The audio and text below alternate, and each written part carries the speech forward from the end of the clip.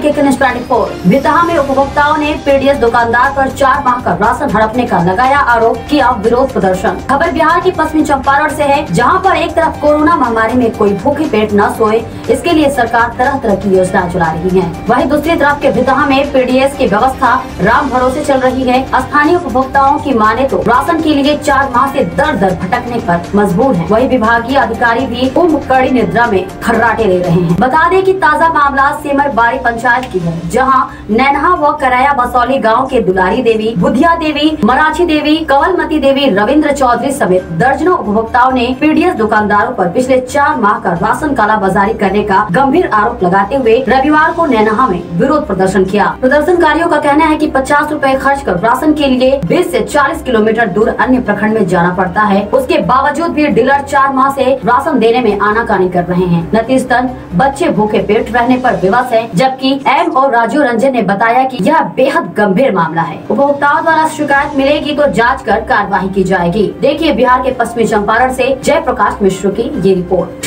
चार महीना से हमनी के राशन नहीं मिलत हमनी के लड़का खैला बिना मरतर सन न जो राशन मिलत रहला हरियर ज़्यादा देतर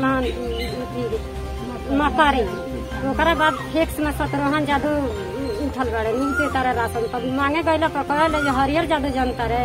आ सतरोहन जादू के लगैला पर कहले हम नहीं खिया आप लोगों को राशन नहीं मिल रहा है? नहीं चार महीनों से नहीं मिल रहा। इसके लिए कहीं आप लोग आवेदन भी दिए हैं? हाँ। कहाँ दिए हैं आवेदन? ही।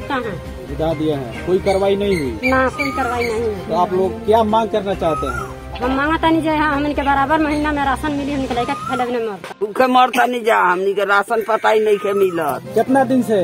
चार महीना से। के डीलर हो? पहले हरियर देत रहे अब सतरोहन जादू फेकस में बाड़े उ।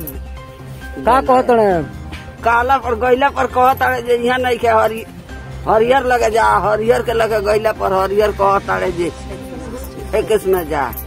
का नाम है राउर? राउर का नाम हो? कवल मती। घर कहाँ हो? करैया बसौली। पंचायत? समरबारी